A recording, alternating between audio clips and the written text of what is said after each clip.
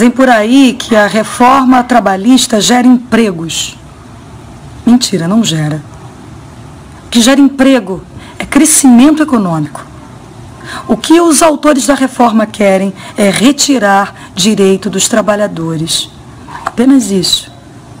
Nada de empregos a mais. Nenhum país do mundo que retirou o direito dos seus trabalhadores comprovou que a medida gerou mais postos de trabalho. E a reforma trabalhista ainda vai piorar a qualidade dos empregos, ampliando a contratação de temporários. Esse tipo de contrato não dá nenhuma garantia para o trabalhador, que é dispensado sem receber as verbas rescisórias proporcionais ao tempo que trabalhou e sem seguro-desemprego.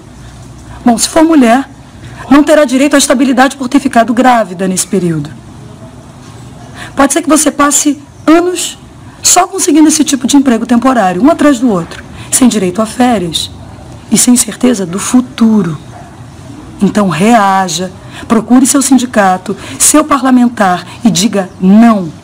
Compartilhe esse vídeo e faça contato com os deputados do seu estado. Não perca suas conquistas. Preserve seus direitos.